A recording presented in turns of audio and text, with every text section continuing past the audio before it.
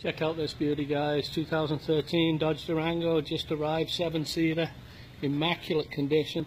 You're looking at just around 42,000 kilometers, just in great shape, and all for under 32 grand. Don't miss this guys, she is an absolute peach.